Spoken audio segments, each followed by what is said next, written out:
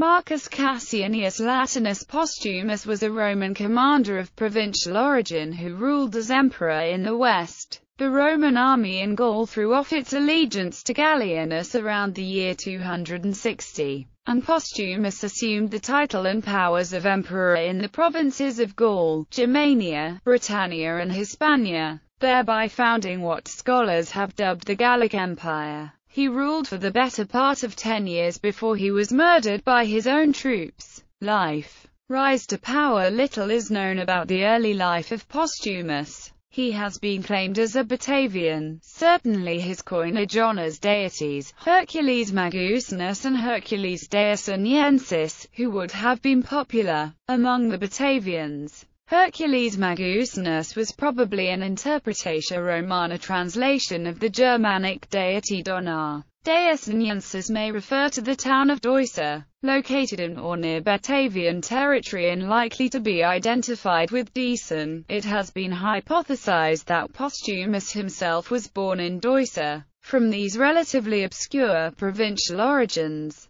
Postumus would have risen through the ranks of the army until he held command of the Roman forces among the Celts. What his precise title was is not definitely known, though he may plausibly have been promoted by the Emperor Valerian to the position of imperial legate of Lower Germany. Postumus was evidently in favor at court, and, according to Koenig, was granted an honorary consulship.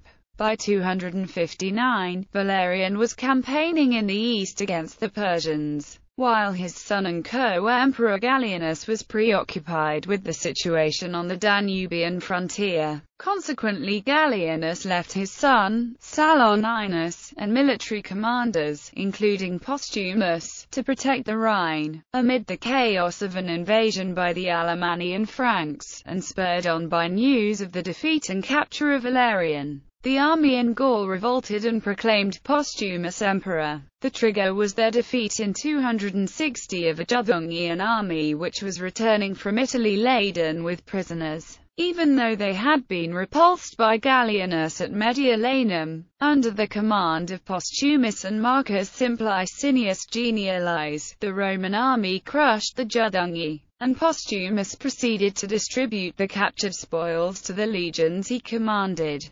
Saturninus, on the advice of his praetorian prefect Silvanus, demanded the transfer of the recovered booty to his residence at Colonia Claudia Ara Agrippinensium. Postumus assembled his army and made a show of reluctantly enforcing this command, thus inviting his troops to instead throw off their allegiance to Gallienus. The troops accordingly proclaimed Postumus emperor and proceeded to besiege and attack Colonia Claudia Ara Agrippinensium, trapping Saturninus and Silvanus. After breaching the walls of the city, Postumus had Silvanus and Saturninus killed, although his supporters later claimed that it was the native Gauls who were responsible for the murders. Later he erected a triumphal arch to celebrate his victory establishment of a Gallic empire Postumus was immediately recognized as emperor in Gaul, the two Germanias, and Rhaetia. By 261 Britannia, Gallia Narbonensis and Hispania had also acknowledged him as emperor,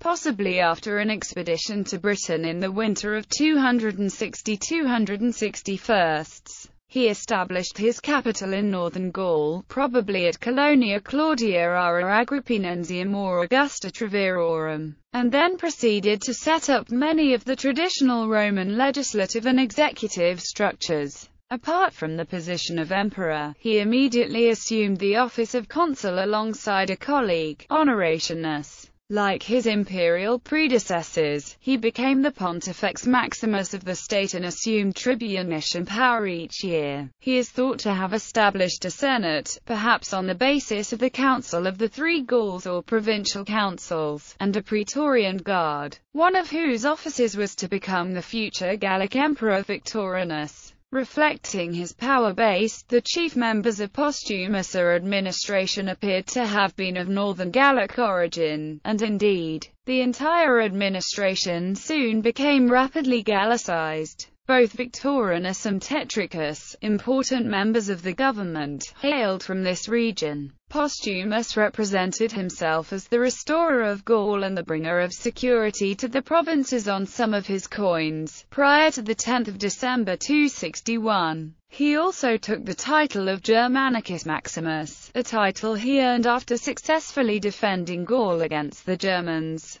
His principal objective in assuming the purple appeared to be the restoration and defense of the Rhine frontier and the surrounding area, a task that he approached with vigor, earning the admiration of the ancient authors, who declared that he restored the security that the provinces had enjoyed in the past. So successful was he in the task of restoring peace and security to the provinces under his direct control that the coins issued by Postumus were of better workmanship and higher precious metal content than coins issued by Gallienus. His control of the Spanish and British mining regions was presumably crucial in this regard, as was his employment of master minters who would have come into Gaul with Gallienus. Postumus fought successful campaigns against the Franks and Alemanni in 262 and 263, following his victory over them in 263. He assumed the title Germanicus Maximus, after which his coin types celebrated peaceful themes such as Felicitas Augusta for some time. After having spent much of the last four years pushing the Franks out of Gaul, Postumus then recruited Frankish troops to fight against other Franks,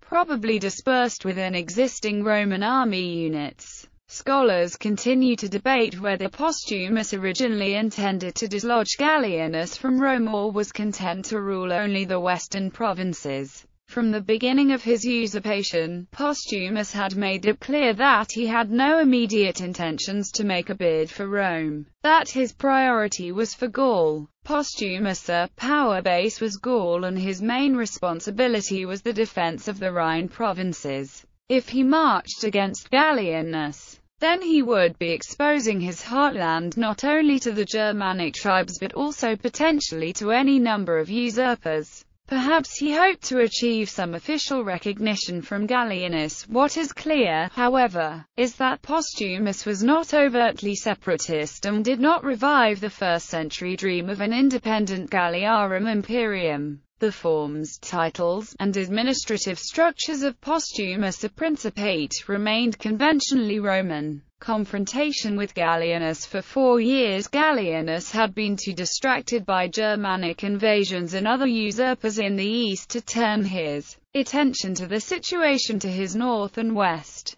This changed in 265 when Gallienus launched a campaign to defeat Postumus. After some initial success against Postumus, his first attempt failed when Postumus managed to escape from a precarious situation due to the carelessness of Gallienus, a cavalry commander, Aureolus, leading to Aureolus' demotion and eventual abandonment of Gallienus in 267. A second campaign, led by Gallienus himself, also seemed to have the advantage over Postumus, but while Gallienus was besieging a city in Gaul, he was wounded and forced to withdraw. After his failed attempt at defeating Postumus, Gallienus was occupied with crises in the rest of his empire and did not confront Postumus again. Gallienus nevertheless did manage to wrest control of Rhaetia from Postumus during these years. Final years by the end of 265, Postumus coin issues were triumphantly commemorating the victory over Gallienus,